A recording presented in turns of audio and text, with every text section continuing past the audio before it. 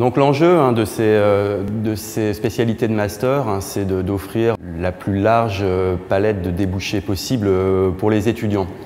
Alors du côté de la spécialité affaires publiques et gestion des biens communs, l'enjeu c'est de préparer les étudiants au concours de la fonction publique, mais également à tout, l'ensemble d'emplois publics et parapublics non marchands d'une certaine manière, à travers notamment une majeure développement soutenable ou une majeure métier des relations euh, publiques-privées.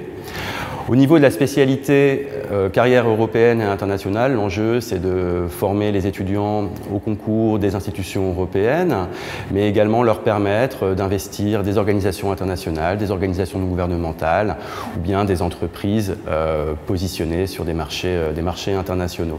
Enfin, au niveau de la spécialité stratégie et communication des organisations, trois débouchés principaux. D'abord, les euh, métiers du commerce et de la finance euh, internationale. Ensuite, euh, les métiers des relations publiques, du lobbying et de la communication.